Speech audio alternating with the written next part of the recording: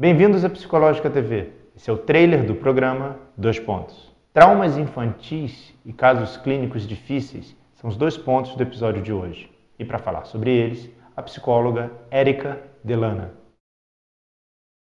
Os abusos, às vezes, eles demoram muito tempo para que a pessoa tenha as consequências funcionais, emocionais daquele abuso. Os mais comuns são a negligência emocional. Né? Por mais que a gente ache assim, ah, o abuso sexual é que é traumatizante. É um paciente mais difícil porque a mudança que ele precisa não está no nível superficial, a mudança que ele precisa está no nível muito profundo da cognição. Por que, que para uma pessoa que às vezes sofre um abuso sexual na infância, aquilo não chega a ter uma, uma implicação no desenvolvimento de uma, de uma doença e para outra pessoa sim?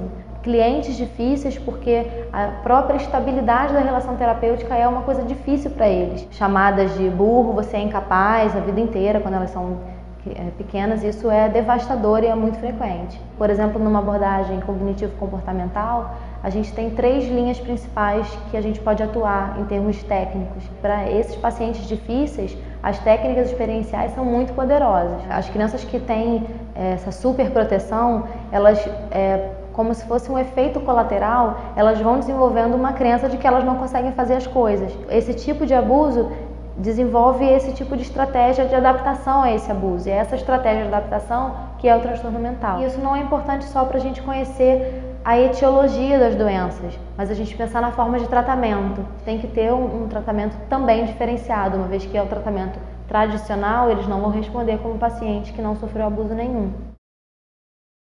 A Érica Dilana é graduada em Psicologia pela Universidade do Estado do Rio de Janeiro, mestre em Psicologia Clínica e Neurociências pela PUC do Rio de Janeiro e doutoranda em Ciências pelo Instituto de Biofísica da Universidade Federal do Rio de Janeiro. É psicoterapeuta cognitivo-comportamental e sócia fundadora do IBNEC, Instituto Brasileiro de Neuropsicologia e Comportamento. Para assistir esse episódio na íntegra, bem como a todos os outros, cadastre-se e torne-se membro da Psicológica TV.